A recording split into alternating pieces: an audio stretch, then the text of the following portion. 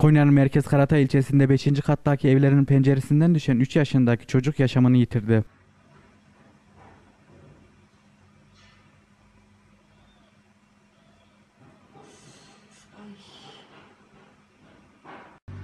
Alınan bilgiye göre Halillerden Başkan, Köprübaşı Mahallesi, Sedirler Caddesi, Aksarnı sitesindeki bir binanın 5. katında bulunan evlerinin penceresinden beton zemine düştü.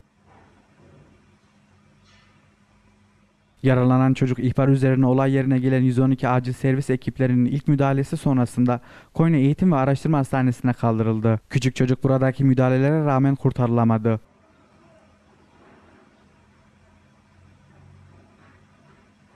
Olay yerinde inceleme yapan polis ekipleri sitenin güvenlik kamerası kayıtlarını incelediğinde düşmanın yer aldığı görüntülere ulaştı. Görüntülerde çocuğun beton zemine düşmesi yer alıyor.